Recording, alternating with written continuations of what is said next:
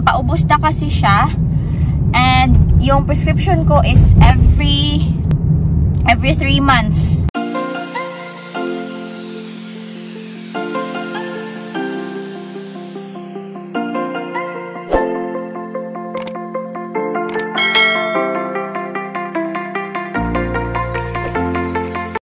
Hello everyone! Welcome to my channel. My name is Pearl.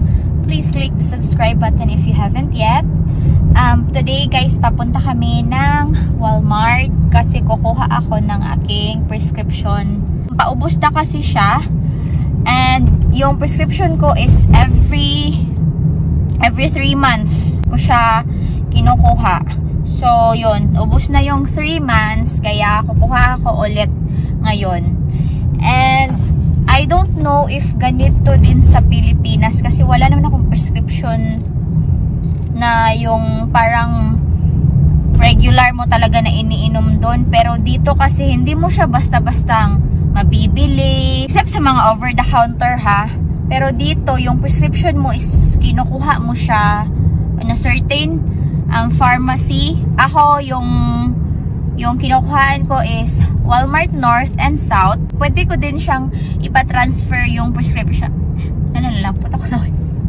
Pwede mo din ipatransfer yung prescription mo. Like, ipatransfer ko sa London Drugs, ganon. Pero, for now, North and South, pwede akong kumuha doon. You know, so, I'm super, super, I'm super happy, guys. Kasi it's already warm outside. Kaya yan, naka-t-shirt na lang ako, tapos naka-slipper na lang. Pero negative for the past few months. Start nung September last year hanggang last week, negative. So, ngayon, positive na siya and it's 20, pila karon lab? 20? 21. Ang saya, ang nakakabuhay ng ano guys, ng kalag. Nakaka, nakakabuhay ng ano, kaluluwa. yung magandang, yung ganitong panahon, as in, ang saya ko. Nakikita na ako na nagwo-walking, meron nang nagbabike, meron nang um, nilalabas na nila yung mga magagandang sasakyan nila for spring, summer. Kasi every spring and summer, nilalabas nila yung mga magagandang sasakyan. Mga vintage car, ganun, may nakikita na ako. So, yan siya guys. Ang ganda na ng panahon sa labas. And, na, yan, papasok na kami sa Walmart. Yun lang guys, ang lakas ng hangin.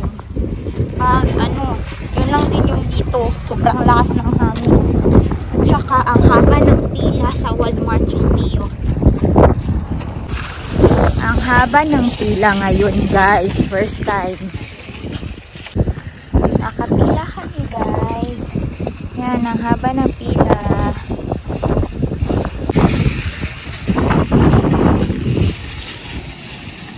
Yan, nakapasok na kami guys. And, hinihintay ko na mag white ulit yung glasses ko. Pupunta na ako sa pharmacy. Yun, nakausap ko na yung pharmacist and pinahintay ako 20 minutes. While waiting 20 minutes para ihanda yung kinuha ko na prescription guys. Dito ako sa baby section at saka yung husband ko is nasa toys section. Ako nasa mga clothes. Tingnan nyo guys. Ang cute. Meron na si Amaris nakabili na kasi kami. Pero ang cute. Ayan pa. There's hubby.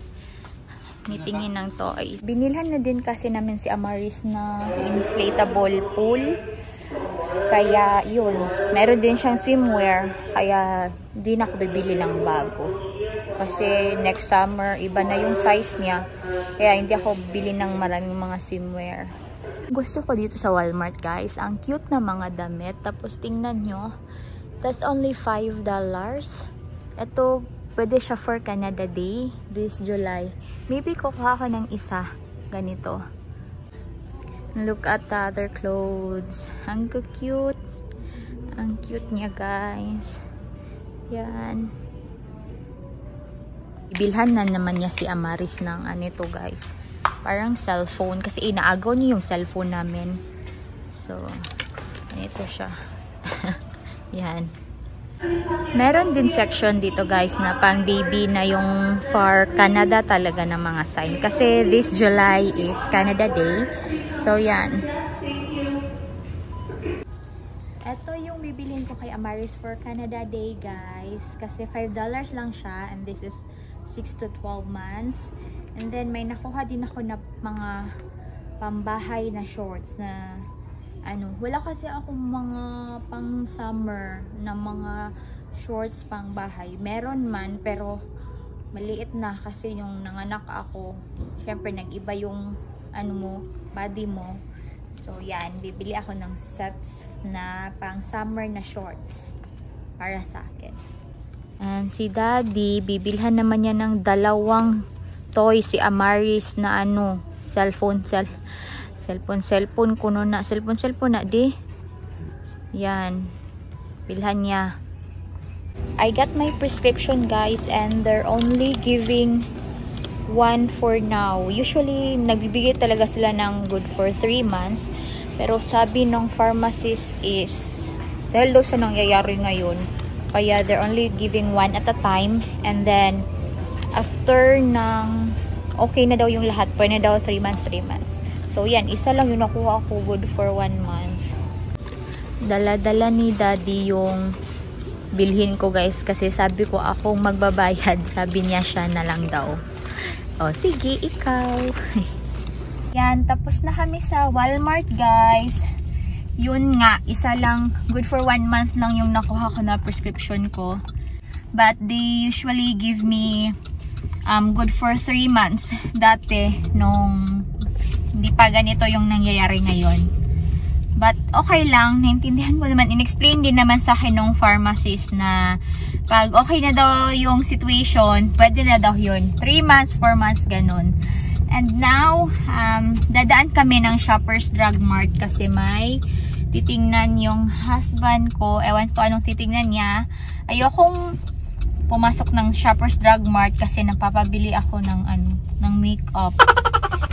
And hindi namin mahanap sa Walmart yung gatas ni Amaris guys. Kaya check namin sa Shoppers um, Drug Mart if meron doon. Yan, papasok na kami na ang Shoppers Drug Mart. Dito namin nahanap sa Shoppers yung gatas ni Amaris guys. Yan. And tapos na kami guys. Tapos na kami sa Shoppers Drug Mart. So, nabili ko, nabili namin yung gatas ni Amaris and um, may binili na chips si Daddy. And also, hindi ako nagpa tukso sa makeup. Ano, kinuha ko na siya guys, pero binalik ko. Sinaalala ko may in-order pala ako sa Sephora. So, yon Hindi ko na muna siya binili. And now, we are going home, guys. Yun, quick um, errand run lang. Para doon sa prescription ko. At least, we got it um, kahit good for one month lang. Please like and leave a comment. Subscribe if you haven't yet.